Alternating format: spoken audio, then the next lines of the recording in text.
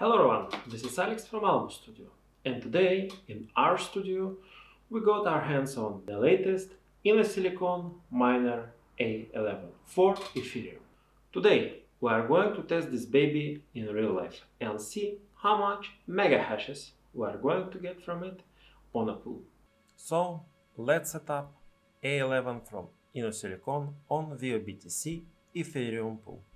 Let's go. First of all, we will need to find its IP. I'm using LanScan application, checking my Wi-Fi. Okay, we should be on the same network with the machine.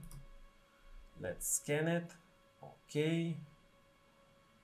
And this one should be it.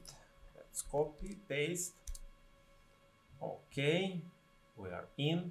Ah, by the way, uh, to log in into this machine, it's not like in Bitmain system. You will need to use admin and admin for password. This is a default.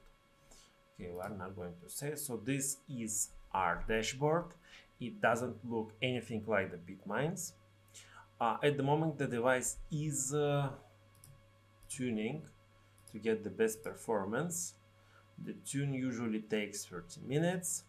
Uh, meanwhile, we are going to set up our pool settings while we are waiting for the machine to tune and be ready for work. We'll need to go to pools and over here we have option for free pools.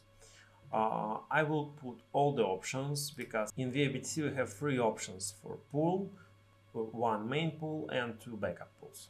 I will be putting a link for ViaBTC down below in this video, so if you need it, you can easily register it on ViaBTC and start mining Ethereum.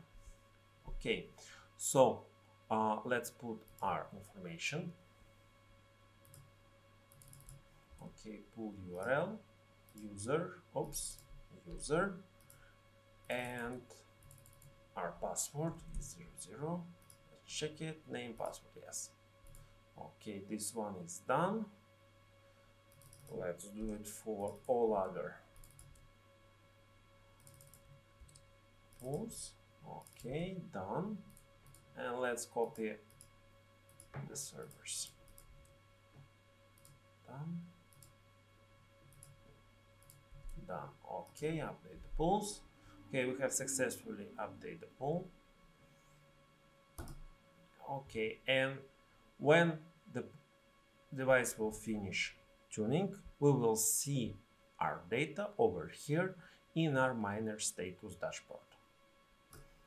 Okay, we can see that our miner is working. Uh, all our pools are available. At the moment, we are mining at 108 mega hashes, which is not a full speed. We'll need to wait for the device to update.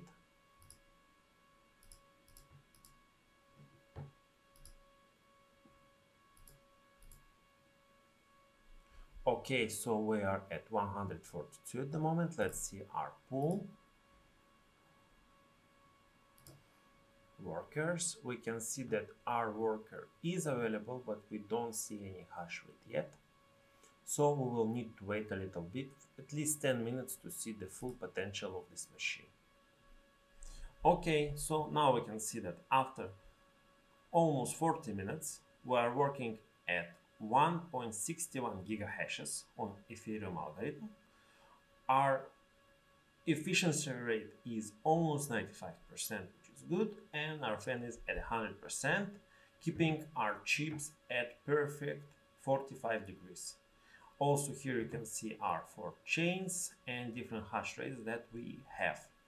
Uh, interesting thing about this miner is if we are going to performance, there is also a performance option, which of course will use more electricity, but I think this baby can work at easily 2 gigahashes, maybe 2.1 gigahash of Ethereum algorithm, which at a good exchange rate is a really, really good option to increase the power. So this is basically how we set up it. Let's see in our pool what do we have. Okay, the pool is reporting 1.6 gigahashes, one worker is active. This is a daily average payout for Ethereum for mega hash.